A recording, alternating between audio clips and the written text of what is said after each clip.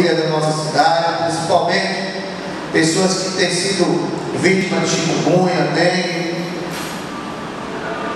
E o que eu tenho ouvido, vereador Pedro, é que todas essas pessoas acompanham os nossos trabalhos aqui na casa pela transmissão ao vivo.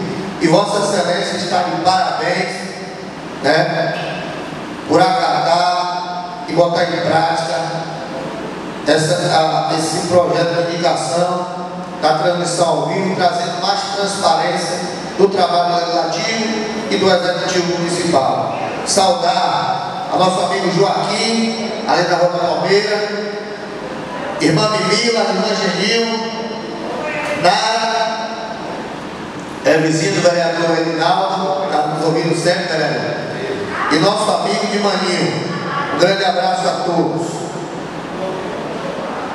É, vi anteriormente o pronunciamento dos colegas vereadores. Vou analisar, vereador João, essa carta que Vossa Excelência trouxe na noite de hoje. Vou ler. Já observei, vereador, que ela está incompleta. Ela começa no parágrafo 7 aí, né? Vou dar uma olhada nos parágrafos anteriores também. E avaliar.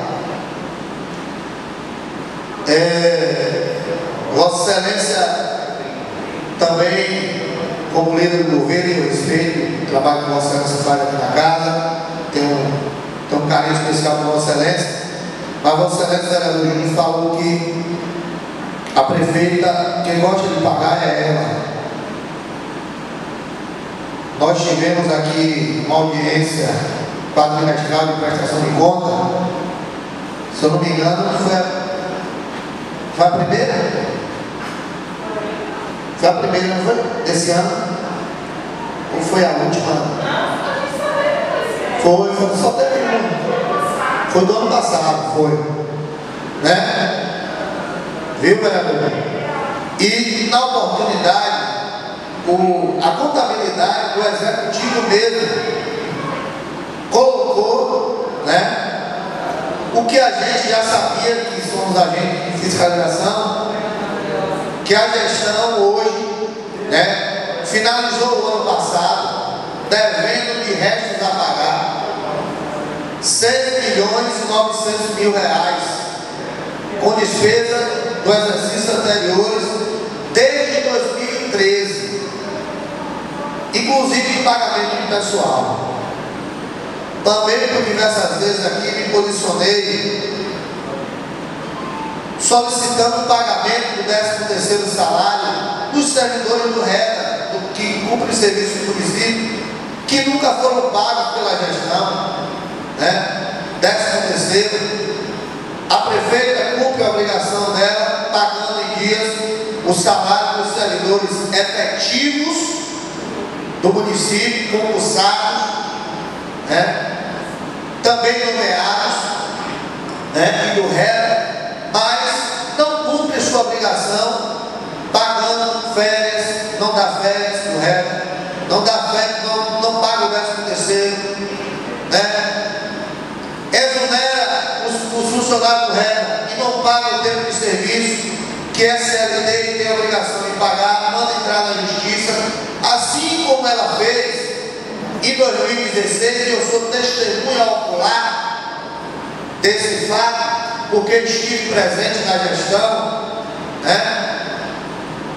A prefeita foi procurada diversas vezes por servidores e o processo anterior à gestão dela, se eu não me engano, dos servidores da educação que ficaram seis meses no período aí, eu não lembro de que gestão foi agora, não me recordo, mas foi gestões passadas, que ficou sem receber seis meses de salário, entraram na justiça e a prefeita orientou que eles entrassem na justiça, desculpa em 2016 também, que eles comentassem que ela ia pagar. Ganharam na justiça. Os servidores da educação, todos aqui sabem que eles ganharam na justiça e quando passou a eleição em 2016, a prefeita disse que não ia pagar mais e não pagou. Então eu tenho uma dificuldade nesse sentido. E digo, eu fico muito feliz, concordo com Vossa Excelência, número general, quando eu vejo ruas do nosso município que não eram pavimentadas, estão sendo pavimentadas. Visitei na segunda-feira. Sempre visito todas as ruas que fazem indicação, que colocam emenda no orçamento, para tentar garantir a execução da obra. Procuro visitá-las todas, de casa em casa, olhando no olho do, do morador, levando a indicação, levando a emenda, vereador Lucinho. Fiz assim todas as ruas que coloquei emenda, e todos os moradores dessas respectivas localidades sabem que o recurso está ali e que a gestão só precisa executar. E fui lá, novamente, segunda-feira, na rua Bravo do Eugênio Figueiredo, através ali do Valdez, está finalizando, falta mais ou menos uns 30, 40 metros de pavimentação. Fico feliz, casas muito boas, tive lá com Vossa Excelência, há 5, 6 meses atrás, né? Casas muito boas, né, muito boas, e eu tenho certeza que aquela comunidade fica feliz, e fica feliz quem? Fica feliz com a prefeita que calçou o vereador que fez a indicação, mas ainda muito mais com ele mesmo que recebe uma dignidade melhor para te deslocar na sua comunidade. Eu gostaria, e, e quando não fizer, eu vou continuar falando. Sabe o que eu vou falar? Porque tem condições de fazer. Tem condições de fazer prefeitos que passaram, como disse o vereador Lucas, deram a sua contribuição ao município. Todos, todos deram, todos de alguma forma contribuíram né? e fizeram também ações equivocadas no nosso município. Mas vale salientar, vereador que pode se fazer muito mais, porque muito mais recursos têm, chegado aos corpos públicos do nosso município. E por que não, prefeita Normélia? Por que não a pavimentação até hoje do loteamento Pedro da Silva Castro. É uma coisa que não entra na minha cabeça. Não, eu fico inquieto, eu fico incomodado, porque tem três anos, vereador Lucinho, que esse vereador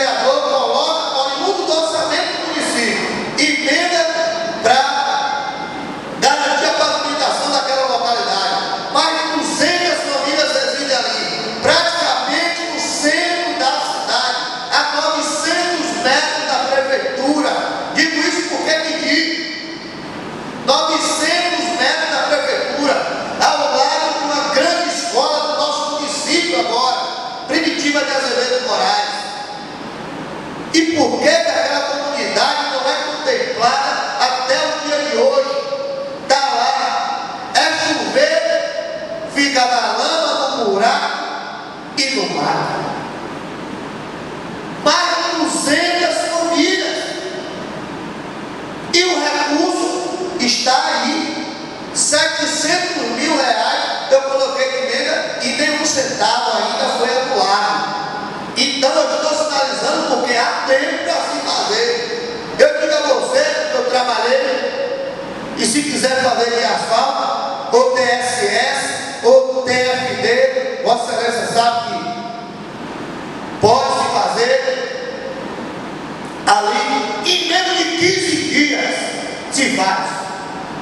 Em menos de 15 dias eu trabalhei com o patrão da Santel e eu sei do que eu estou falando. Se quiser fazer de pavimentação de paralelo, também dá para fazer. E por que, que não se faz? Por que, que aquela comunidade não é contemplada? Eu não consigo compreender. Por que, que a nascente do Rio Jacuípe, que o vereador, vereador Oséias, a ex-vereador direto, passou aqui quatro anos cobrando, eu tenho três anos e oito meses aqui falando, colocando emenda, colocando recurso, pedindo, clamando em nome da comunidade da Rua Maria Quitéria da Fonte, e aquele, aquele, aquele monumento, aquele patrimônio histórico da nossa cidade, continua abandonado pela gestão pública. Eu não consigo compreender. Eu vou finalizar. Eu não consigo compreender. O povo, rapaz. Eu não estou pedindo nada para mim. O recurso é do povo, vereadora fala. Ele tem que ser devolvido ao povo, porque é o povo que contribui recurso chegue aos cofres do nosso município.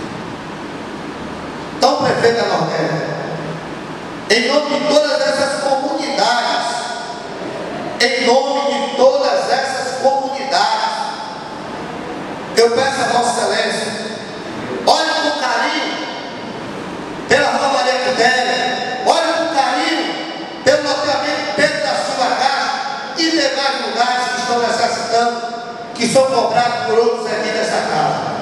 Que Deus nos abençoe sempre. E a luta vai continuar. Boa noite a todos.